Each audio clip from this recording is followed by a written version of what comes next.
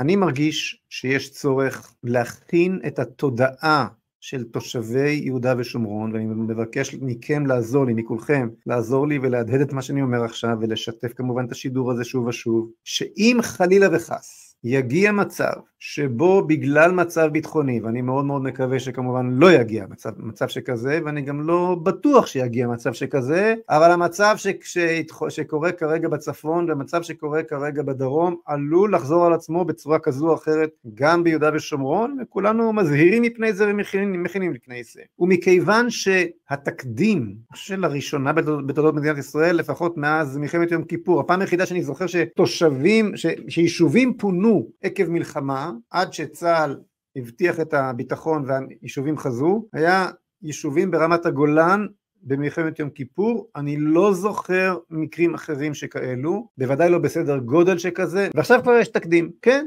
יש מצב חירום, צה"ל אומר תנו לי לטפל, אתם כרגע מפריעים לי בזה שאתם שם, זוזו הצידה, המדינה מטפלת בכם, מלונות, ים המלח, פפפם, פפפו, הכל בסדר, התושבים מבינים שזה לטובתם, שזה לטובת הביטחון, לא רוצים להפריע לצה"ל, מתפנים, אזרחות טובה, הכל סבבה. אם חס וחלילה וחס יבקשו מתושבי יהודה ושומרון לעשות את אותו הדבר, אסור להם להסכים בשום פנים ואופן, כי צריך להבין, אין ספק שלמדינת ישראל יש מוטיבציה לחזור לקריית שמונה, אין ספק שלמדינת ישראל יש מוטיבציה לחזור לעוטף עזה, אין ספק, ואני מקווה בעזרת השם שאכן כך יהיה, חלילה וחס, כן, שאכן במהרה בימינו יחזור כל איש לביתו ואיש לעבודתו וכן הלאה, זה הכל ברור. אין למי שאוחזים ברסן השלטון האמיתי במדינת ישראל מוטיבציה להחזיר לביתו שום תושב ביהודה ושומרון. ולכן מי שיעזוב את ביתו בקרני שומרון, באריאל, בקדומים, בכל מקום יכול לשכוח מלחזור הביתה אי פעם.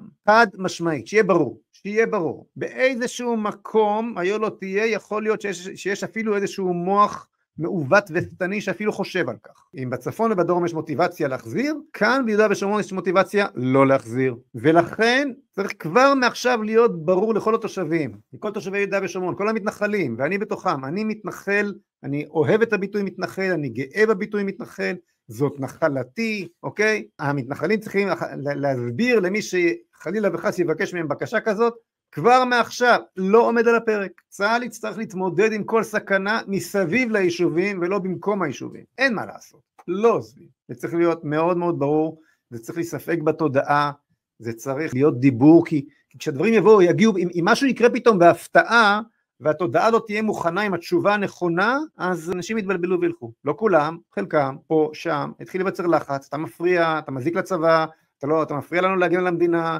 כל. תכינו את עצמכם לכל התירוצים, התירוצים הממלכתיים, התירוצים הביטחוניים, התירוצים האזרחיים, כל התירוצים, כל הלחצים יהיו. התקשורת תתקוף את המתנחלים הקיצוניים שהם מפריעים, הם לא כמו האזרחים האחרים שהואילו לעזוב למה הם לא מבינים את מה שהבינו פה, הכל יהיה, אז תהיו מוכנים.